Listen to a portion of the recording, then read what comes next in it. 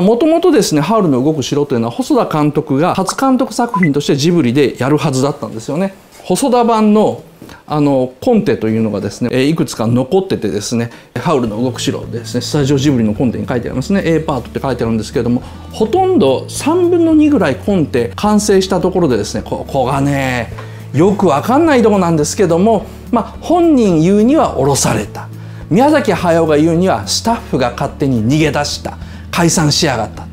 鈴木さんはそこら辺言葉濁すっていうですね。分かんないような感じになっています。でどんなのかだけ僕やっぱり興味があったんであの誇っているコンテとかをですね引き伸ばしてみるとですね舞台が現代になってるんですね。現代の車がソフィーの店の前に止まっててですね。で下からこの2つ見るとですねソフィーがこうメガネっ子なんですね。まあ仕事してる最中はメガネかけてまああれこれですね自分の生き方にあの悩んでるみたいな描写があるんですけどもこれはこれでね悪くないっていうかですね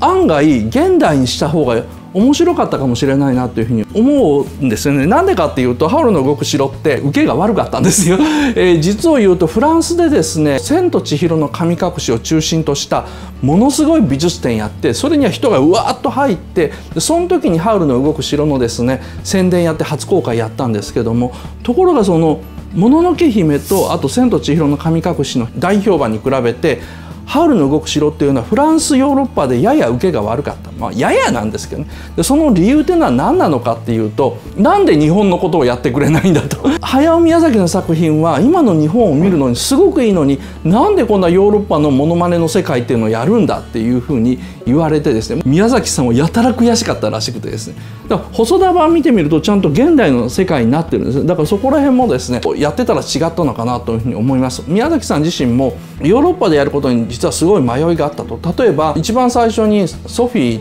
って女の子主人公がですねあの街に行くんですね。街に行く時にどう歩かせるべきかと。実は当時の19世紀末から20世紀初頭のですねヨーロッパの女の人というのは絶対に肩も腕も動かさないと。歩く時にこうやってこう下半身だけ動かして歩くんですよね。でもそれをするとなんかツンと構えたような感じになっちゃうので悩んだ末やっぱりソフィーは普通に今の日本人みたいに手をこう両手を動かして歩くようにするとやっぱそこら辺もいろいろ言われることになったというので宮崎さん悔しかったそうですけどもです。だからこの細田版のハウルもですねせめてコンテ集出してほしいんですけどももうジブリ徹底的に封印するみたいですね。出てこないですね。だからもう次のチャンスは宮崎駿が死んだ時に何が出てくるかで最後のチャンスは鈴木敏夫が死んだ時に何が出てくるかっていうのがあると思うんですけども。ポンポロンポロンポンポロンポロン。花びらの白い色は恋人の色。ふるさとのあの人のふるさとのになった瞬間にすっごい泣けてくるんですけども。